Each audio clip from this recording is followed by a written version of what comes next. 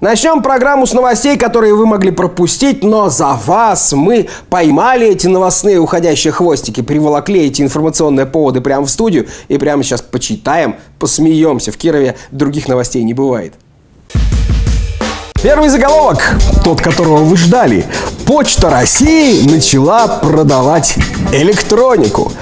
И поскольку все мы с вами знаем, что такое Почта России, поэтому мы тут же нашли ту электронику, которую ребята будут продавать. Shut up, shut up, shut up, shut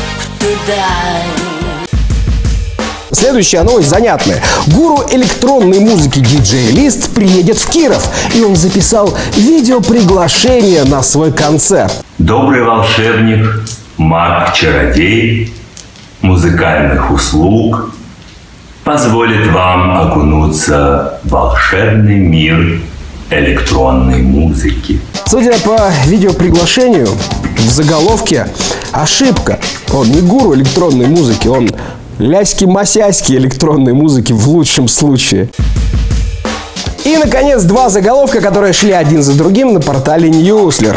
Напоминаю, мы живем в 2017 году, если вдруг кто забыл. Первый.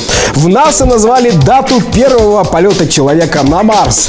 И тут же на Кировском, на Кировском вокзале помыли люстру. Новости, которые мы заслужили.